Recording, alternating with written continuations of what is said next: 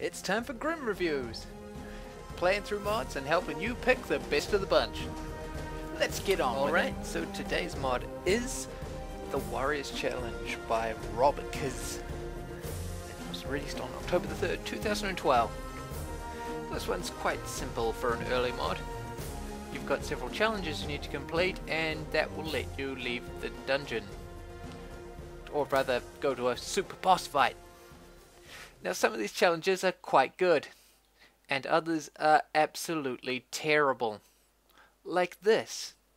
I know that a lot of people think that combat is the weakest element of Grimrock, but mobbing you with enemies does not fix this.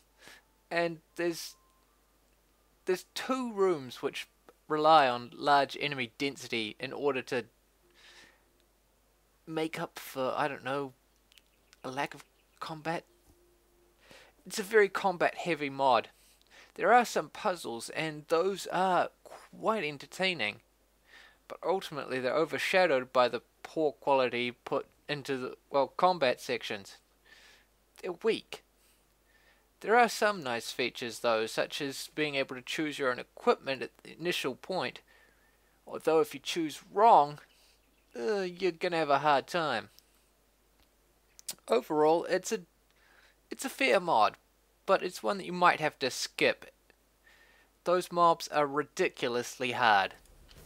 I'm giving this one a 2.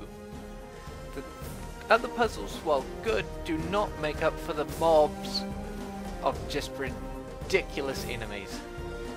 You can have a high level party in this and it will still suffer.